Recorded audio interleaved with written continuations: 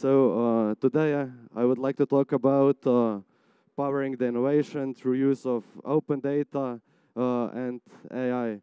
But before we dive deep into the topic of uh, open data and uh, AI, let's take a look what are the main challenges LiDAR data processing managers and experts are facing uh, day to day. So first thing is that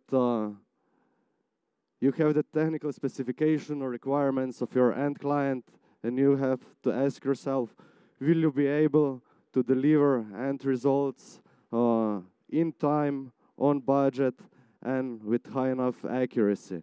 And this uh, can produce quite a lot of stress if there are some uncertainties how you will go about the delivery. So in precision, costs and delays are quite a big challenge. Second thing is that with larger data sets, with more data, uh, the compute and storage uh, capacity actually is becoming a problem.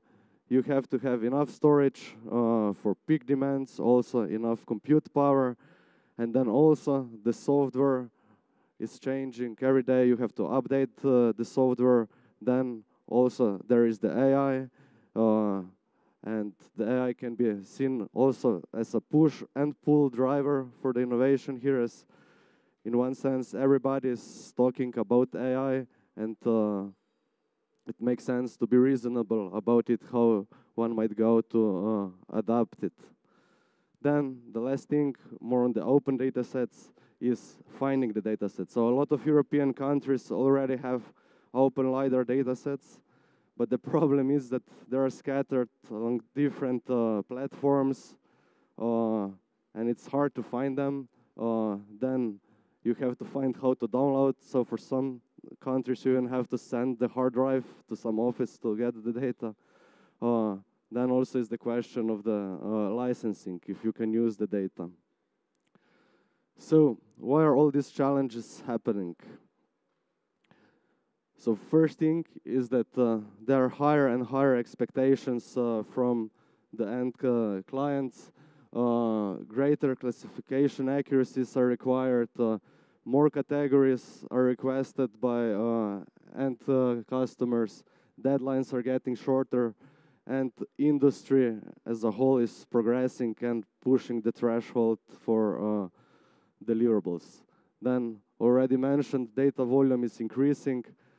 As we see each year, uh, sensor manufacturers are uh, pushing out new sensors which uh, operate at higher frequencies point densities of uh, data is getting higher and higher, and we need to store all those store all those data, and also the uh, scannings are becoming more frequent. So a lot of countries are already doing like cyclic yearly coverage of of entire countries. Then, as already said, open LiDAR data sets are fragmented. Each country has its own portal no option to download the data, and uh, there are also different licensing models. And last but not least, there is an innovation uh, part. So we have to keep innovating, adopting new, new tools, see how AI can help us, and uh, also with this, how we can address new requirements. So now we just take a look how things were just few years ago and how are they now. So few years back, you can easily do entire projects on workstation or your, let's say, more hefty PC. Today, for large projects, you need to have compute clusters, either on your own infrastructure or you can rent them out in cloud. Then, in terms of storage, back then, most of the projects can fit on, let's say, a few terabytes of hard drive. Now, with uh, higher densities, you need to have large, large storage capacities and you can store up to petabytes of data. Then, in terms of classification, a few years ago, only the ground classification was usually requested, maybe buildings also. Today, clients are requesting all sorts of categories from solar panels, uh, wind turbines, uh, pipelines, and it's getting harder and harder to actually uh, automatically classify or in reasonable time frame and cost classify the data sets. Uh, also, the classification accuracy, the threshold, what is what is acceptable, is increasing, and uh, this uh, it's producing additional, let's say, stress and costs on the delivery of the uh, classification data. And last but not least are the deadlines. So the deadlines for the projects back a few years ago were more reasonable compared to today. But in other sense, it makes sense that uh, data is published as soon as it's captured, because the most value in the data is the day that is captured, and longer it passes, uh, less, let's say, accurate or current it is. Uh, so, what is approach that uh, we are proposing to address those challenges? So we are at Flai developing uh, processing tools with uh, AI and other um, uh, workflows to enable easy processing of point clouds.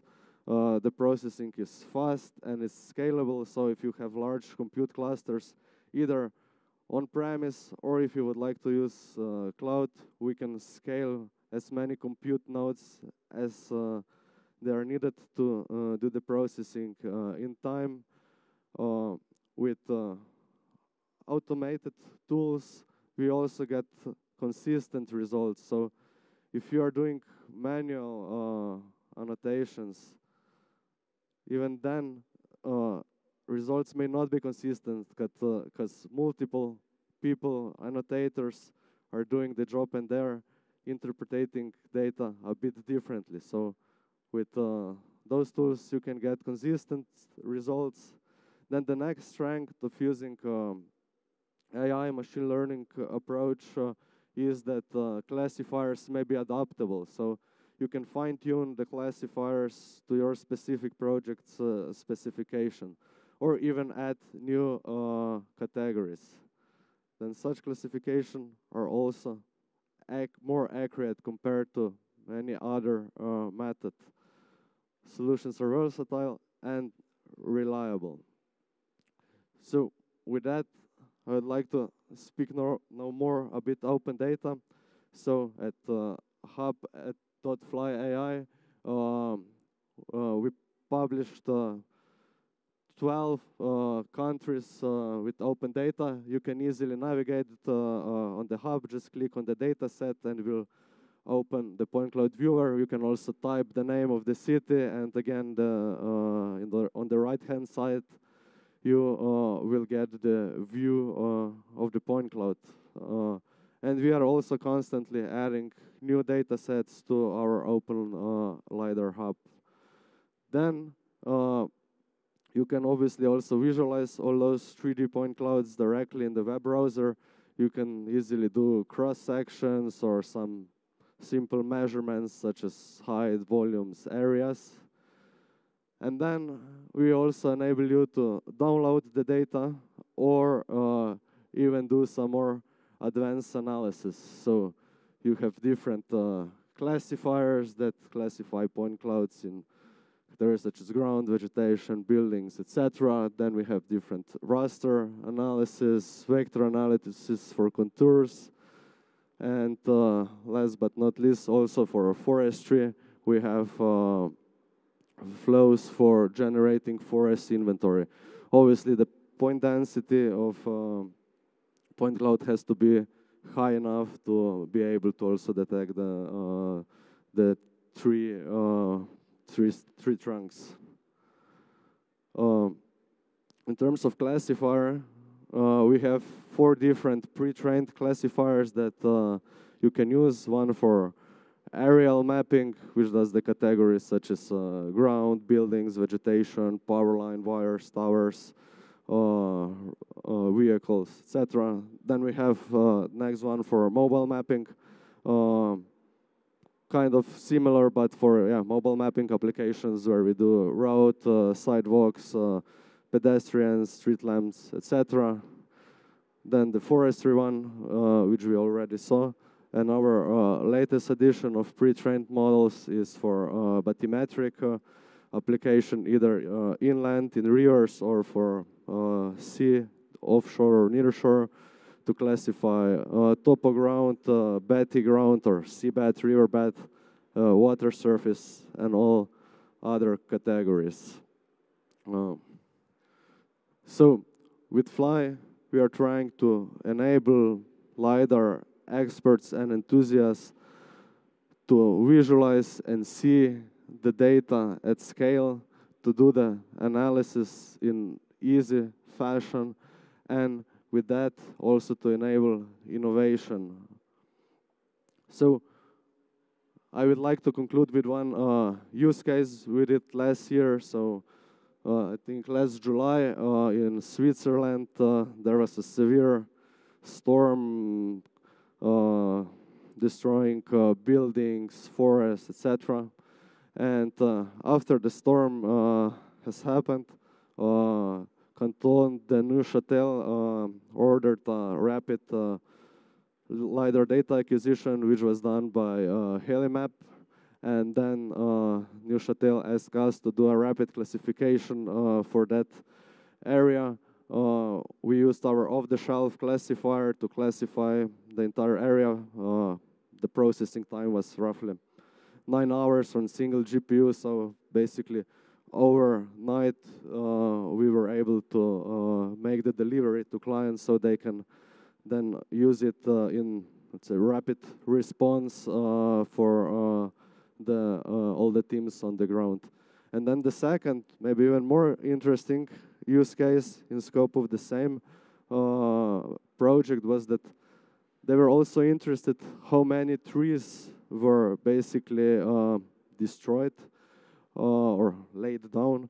Uh, and for that, we didn't yet had a classifier that would be ideal for the use case.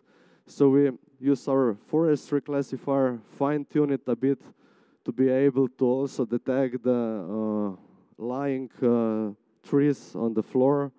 Uh, so those are those pinky reddish ones. So we created a new classifier to classify all those uh, dead trees or lying trees. And then we also did the vectorization of those so uh, that we can export it in a GeoPackage, GeoJSON, or whatever um, vector format for further analysis to estimate how much trees were actually uh, uh, damaged in this calamity. So with that, uh, I'd like to conclude. Uh, I guess everyone is uh, now uh, asking yourself how you can start today. So you can register for our web application. You can try it for free to do the processing. Uh, and if you would subscribe for our, let's say, yearly bundles, you can also use uh, promo code InterGeo to get additional discount. So uh, with that, I would like to conclude. I don't know if we have time for questions, but if not, I will be also at uh, our booth in the hall three. So, so thank you.